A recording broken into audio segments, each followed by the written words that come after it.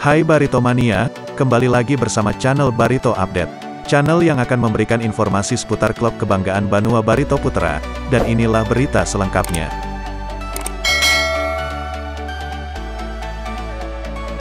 Sebuah suar atau flare sempat menyala saat pertandingan Barito Putra vs Arema FC pada minggu malam. Supporter Arema yang berada di tribun VIP Stadion Demang Lehman, kedapatan menyalakan benda terlarang tersebut. Peristiwa ini terjadi tidak lama setelah wasit meniup fluid panjang tanda berakhirnya laga Barito Putra vs Arema dengan skor 1-1.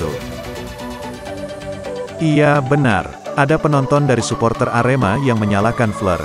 Sehingga kami perlu membuat berita acara atas kejadian itu, ujar Ketua Panpel Barito Putra Rudi Dwi Siswantoro kepada JPNN. Rudi mengakui insiden ini pula yang menjadi salah satu pemicu keributan di luar stadion. Beruntung, kejadian diredam secara cepat oleh petugas keamanan. Pelaku yang menyalakan flare diketahui sudah menulis surat pernyataan bahwa yang bersangkutan melakukan kesalahan berat. Rudi meminta para supporter ke depannya lebih tertib dalam mendukung tim kesayangannya.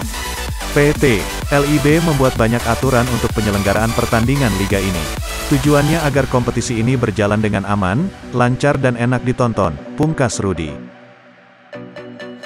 Barito Putra gagal raih hasil maksimal lawan Arema. Gelandang bertahan, Raffi Syarahil mengaku menyesal Barito Putra gagal raih hasil maksimal lawan Arema.